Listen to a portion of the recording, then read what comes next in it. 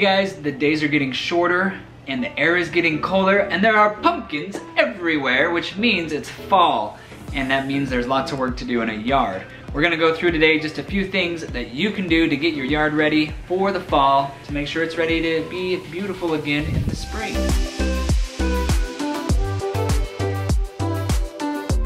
So one of the first things you'll notice about your grass in the fall is that it needs a lot less water. As the days get cooler, there's less evaporation that takes place.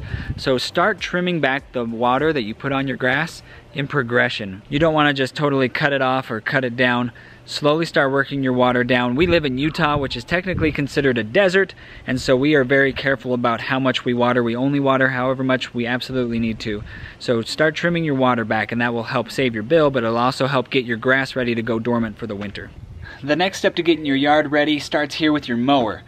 A lot of people keep their grass fairly long during the summer, which is great. It helps keep water retention so you don't have to water so much. But as things get colder, you're going to want to start putting your lawnmower blade a little bit lower and a little bit lower. You want your grass to be fairly short for the winter because if especially in Utah we get snow pile right? And if that snow sits on your grass and that grass is really long it's gonna mat it down and it's gonna have a really hard time recovering in the winter.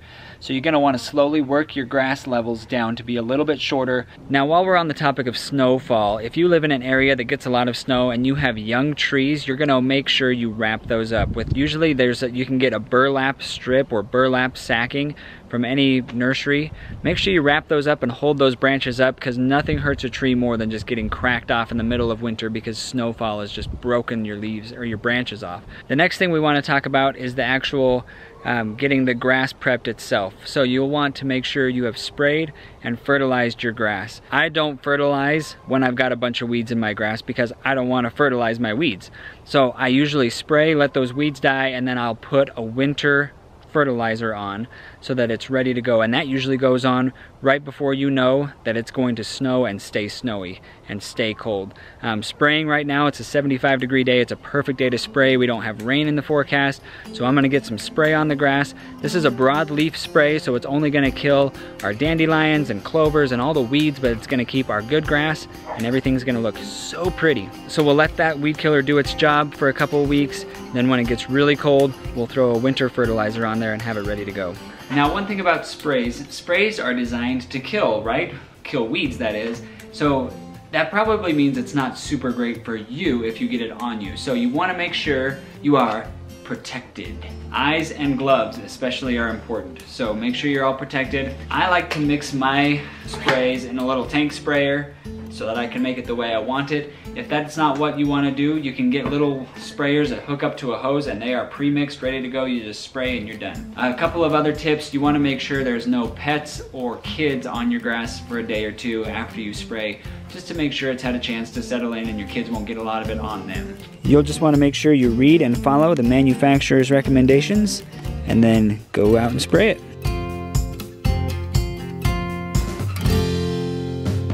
Now Julie's already done a fantastic job of getting this grass ready for me. She's mowed it, which is what you wanna do, and then she's also picked up all the debris, any leaves or anything else that's gonna block my spray from getting right onto my weeds and killing them.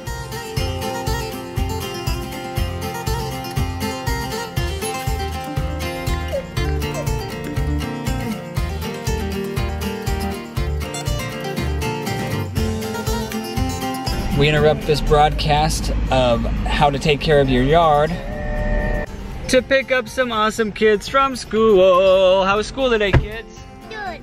Good. Get a pool, they said.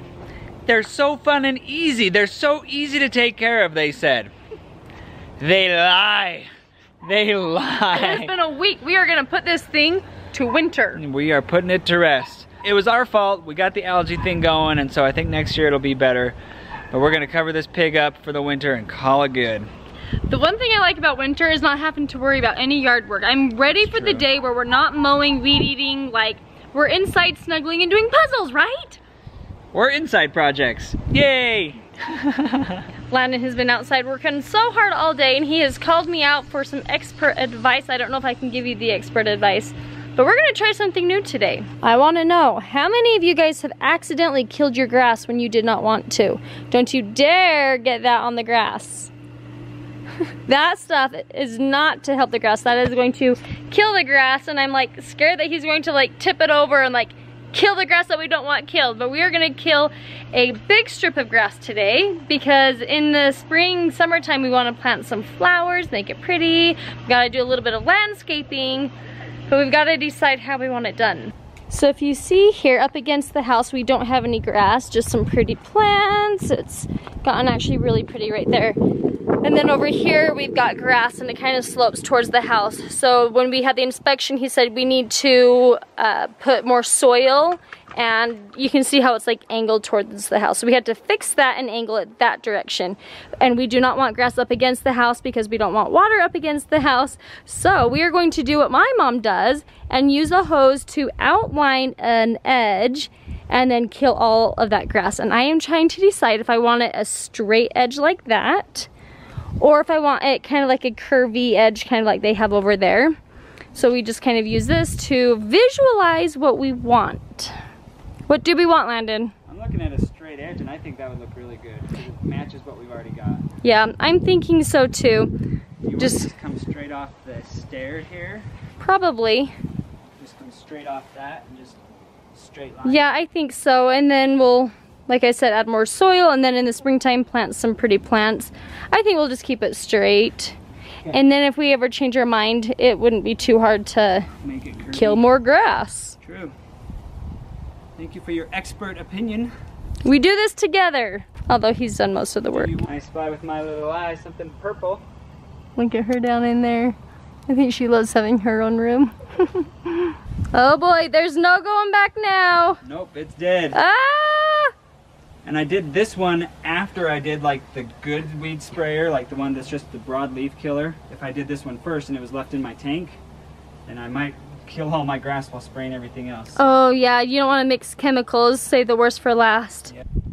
Oh no, Landon, stop! Okay, I'm standing right here talking to Landon. I'm in my sandals and a dress and I can like feel the spray on my legs.